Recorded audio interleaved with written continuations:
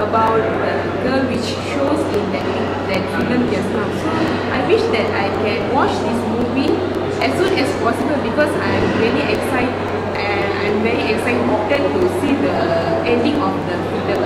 Don't forget to watch Ijab Stabele in your nearest cinema.